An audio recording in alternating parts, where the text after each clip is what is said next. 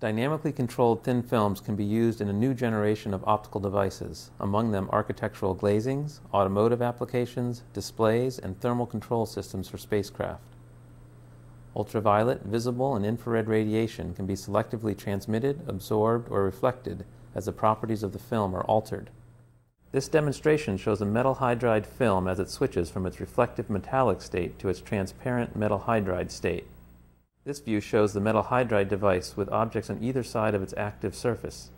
The device is currently in its reflective metallic state.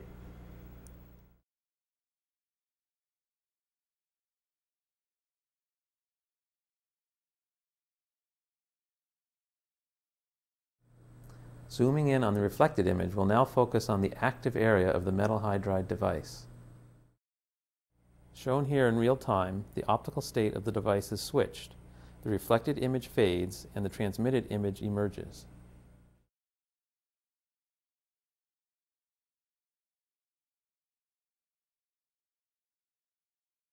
Heating and cooling energy lost through windows in the United States accounts for about 3% of total national energy use, or about 2.9 quadrillion BTUs of energy annually, costing more than $26 billion per year.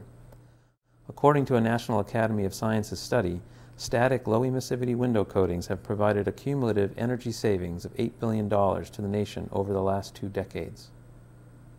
Windows based on transition metal switchable mirrors could increase the magnitude of savings considerably in the decades to come, reducing heating, cooling, and lighting energy use by tens of billions of dollars.